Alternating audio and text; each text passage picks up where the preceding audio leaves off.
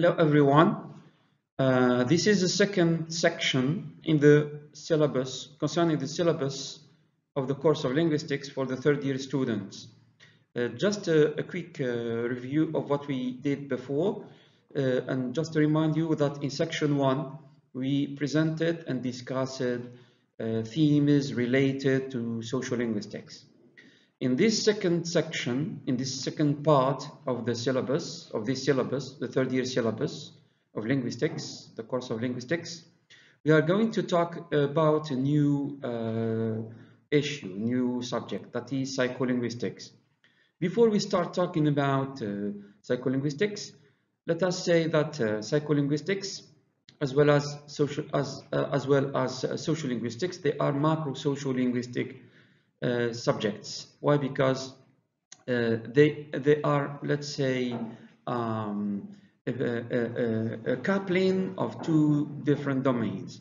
In social linguistics, we saw before that it is a, a hybrid, uh, let's say, subject that couples on one hand language and on the other one uh, sociology or society. Now, in psycholinguistics, it's uh, coupling on one hand language and on the other one psychology. So psycholinguistics, this is going to be the core of the second section of the second part of the third year syllabus uh, concerning the course of uh, linguistics. Now, theme 5 will be an introduction to psycholinguistics. In this theme, we shall have to cover three main uh, points. First one, definitions of psycholinguistics.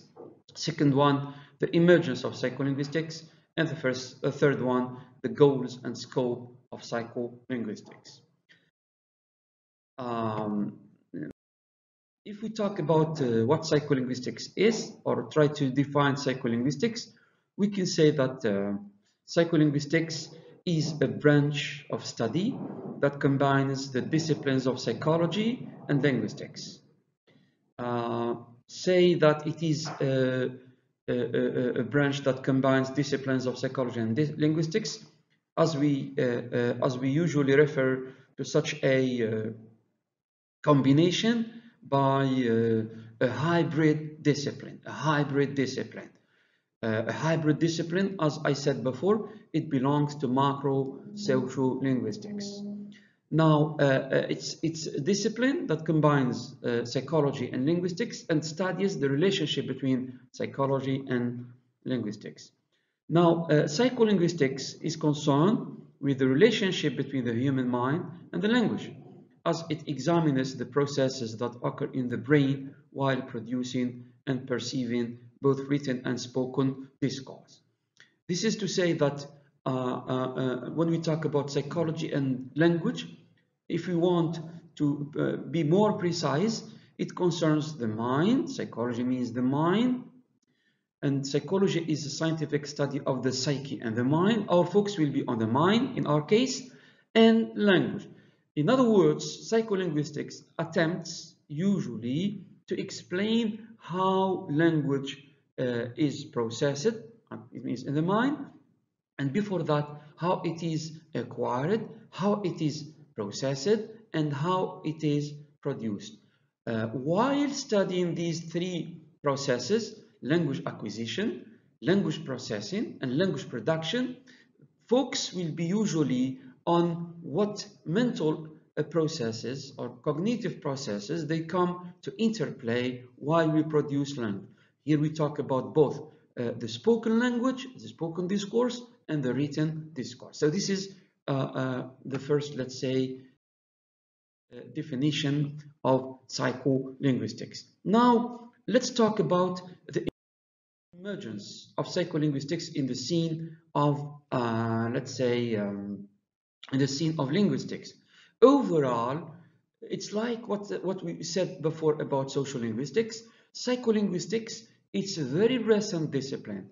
Somehow it's a new discipline. Why? Because it has evolved or it evolved only in the second half of uh, the 20th century. Second half of the 20th century, uh, starting from the 1960s. Uh, before that, of course, this does not mean that the study of the mind and language does, did not exist. Rather, it existed. But we are talking about psycholinguistics as it is now, uh, as it is now uh, considered, as it is now studied. It is very recent. In one word, we can say the study of the mind and language is not recent. It has, uh, let's say, uh, existed since, uh, let's say, old and ancient traditions. We see this afterwards with the Greeks, Egyptians, etc. Uh, during the during the Renaissance, the Middle Ages, Renaissance, the 18th century, 19th century, until the 20th century. But uh, psycholinguistics as a discipline, it is a recent uh, subject that has evolved only uh, since uh, the second half of the 20th century, uh, starting from the 1960s.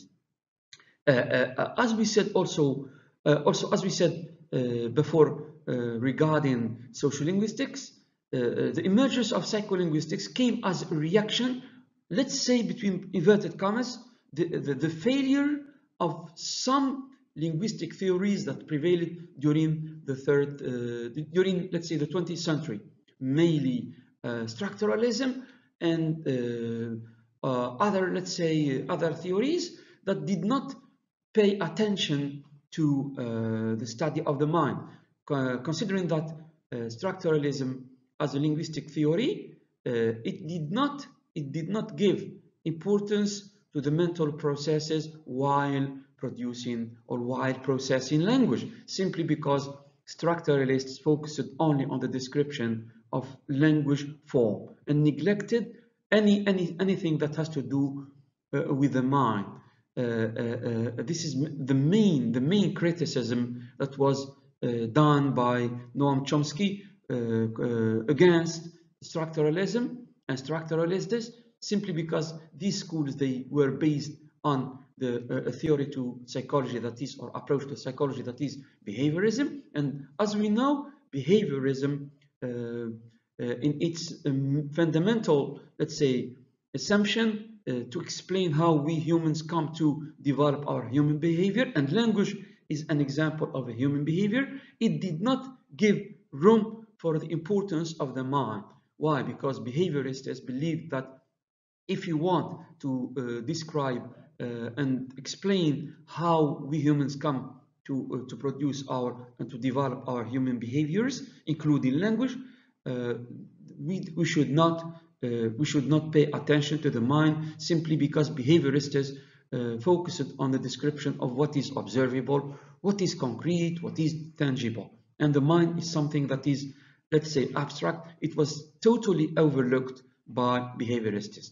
And of course, structuralists based on behaviorists overlooked the description of meaning and focused only on the form. So Chomsky uh, reacted against structuralists, against behaviorism, and said that we cannot uh, we cannot describe language without giving sense to uh, the role of the mind uh, and of course to, to, to, the role of the mind uh, uh, in the production, in the acquisition, processing and production of language. Based on this new notion, let's say the importance of the mind in relation to language has emerged or emerged and with the emergence of this new idea that is the relationship between the mind and language, psycholinguistics emerged. This is an overall, let's say, uh, explanation about how so psycholinguistics came to emerge in the scene of linguistics. But if you want to categorize the uh, categorize, let's say, um, categorize the, uh, the emergence of psycholinguistics, of course, according to the available literature, according to many scholars, according to many historians who uh, uh, try to uh, talk about the emergence of psycholinguistics, they usually talk about two periods of time.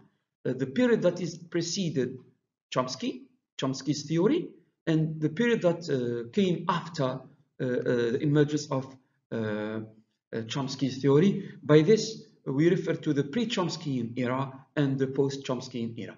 In the pre, generally, when we talk about the pre-Chomskyan era, uh, we go uh, very far to uh, ancient civilizations we start with the Egyptians, the Greek philosophers, enter the earliest empirical studies in the uh, 18th century, 17th and 18th centuries, coming to the cognitive neuropsychology in Germany in the 19th century, and of course, as I talked before, with the early 20th century influence uh, of behaviorism. Now, talking about the post-Chomskyan era, generally, it started, as I said before, with the mid-20th century and uh, influence and some studies that uh, came during this era, and of course, with the findings that emerged with uh, the, the, the sciences that looked for the importance of the mind in the production of language uh, in the early 20th century. Overall, this is about the historical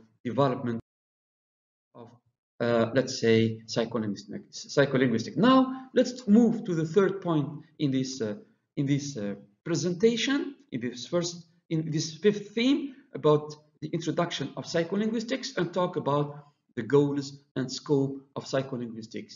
Now, regarding these, uh, the goals of psycholinguistics, we have, it is argued that the overall scopes of psycholinguistics concern answering questions such as, there are two main questions that can identify what the, the goals of psycholinguistics are and what is the scope of psycholinguistics.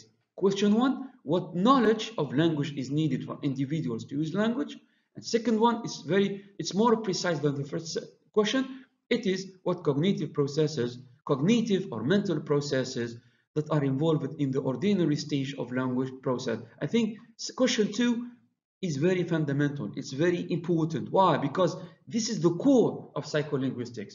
Why? Because psycholinguistics concerns itself uh, uh in, in, giving us, uh, in, in explaining uh, how the mental processes or cognitive processes come to interplay while we process language.